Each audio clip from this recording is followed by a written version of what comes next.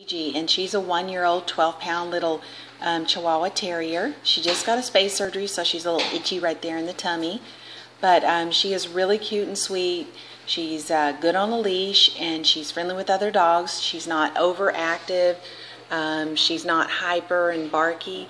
She's a really, really good dog and very loved here in the city of Lytle.